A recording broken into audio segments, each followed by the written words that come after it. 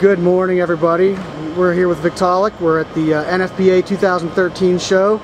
I'm here with Ian MacInnis, who's uh, agreed to take a few minutes and show us around the uh, Vortex 500 system. So, Ian, really quickly, could you give us a quick overview of what the Vortex 500 system is and how it works? Absolutely. Um, I'll, I'll, I'll, take a step back and explain how, what the actual Vortex system is. Uh, Victaulic Vortex system is the first hybrid suppression system of its kind uh, in the world.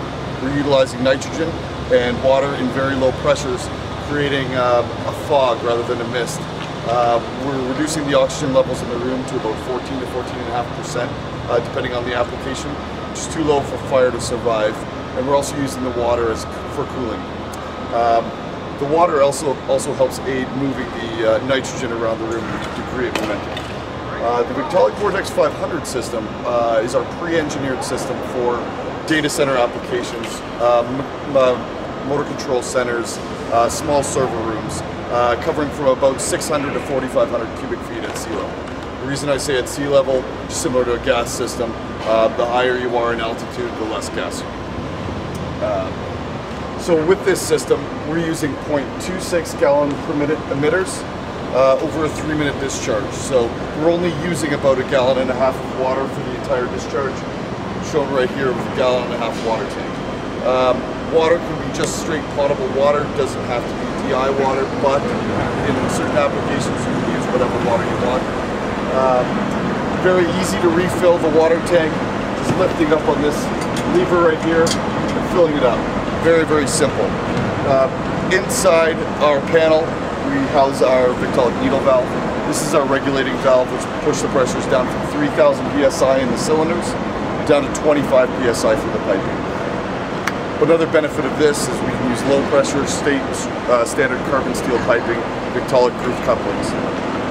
Uh, the water pressure is actually just pushed through uh, di by diverting a little bit of the nitrogen into that water tank and again being very low pressure as well. Uh, about 25 psi through the piping, 5 psi of water at the emitter. Um, so we've come up with this very effective system uh, that doesn't create any arcing for any electrical components and due to the very, very small um, sub 10 micron sized water droplets that we're creating with the system.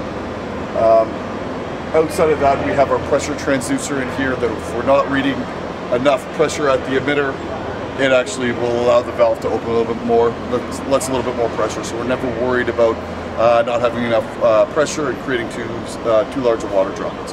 We're always going to be creating sub 10 micron size droplets. Um, the sequencing of the system, standard detection system, heat, smoke, infrared, VESDA, whatever type of detection you need. We'll fire the system through a releasing panel.